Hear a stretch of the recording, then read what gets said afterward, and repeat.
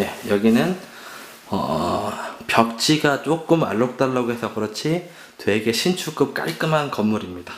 신림역에서 걸어서 10분 정도 거리에 위치하고 있고요.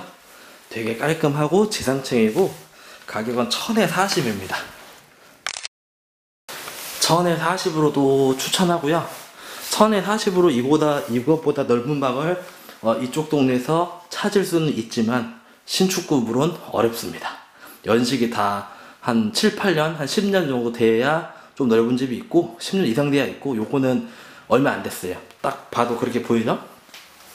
화장실에 어, 창문도 있고 1000에 40으로도 강력 추천하고요.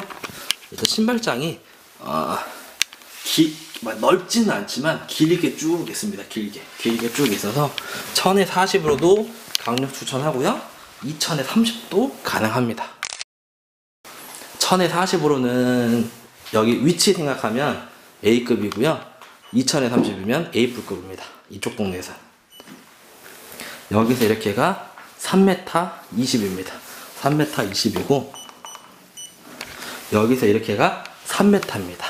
3m 20에 3m. 그러면 신대방역에서도 3m, 3m, 신축급에 3m, 3m면 넓은 방이거든요.